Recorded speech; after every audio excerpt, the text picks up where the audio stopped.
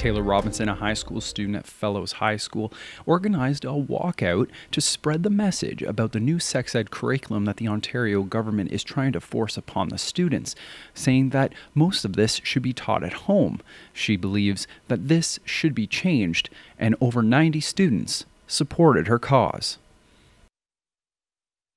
Uh, so currently, the Ontario government is in the, I guess, process of changing the sex ed curriculum, um, and it's really going back to kind of the bare bones of what the sex ed curriculum should be uh, because they believe that parents should be teaching it at home.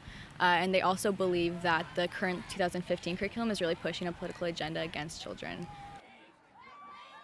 I was really inspired by the bigger protests in Toronto and Ottawa, but being in such a small conservative town, I didn't really know how much of a take it would get if I actually planned something like this. Um, but I mean, I kind of realized if I wasn't going to do it, no one was. I think we just really want people to know that kids do have a voice and kids do have a say in what they learn and what happens to them.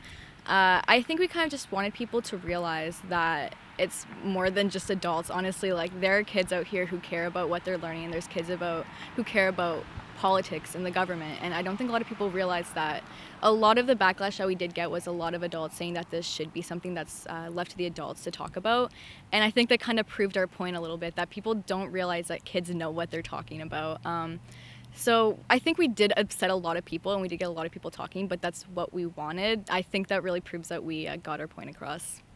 Some of the problem lies in the terminology used in the new curriculum versus the 2015 edition.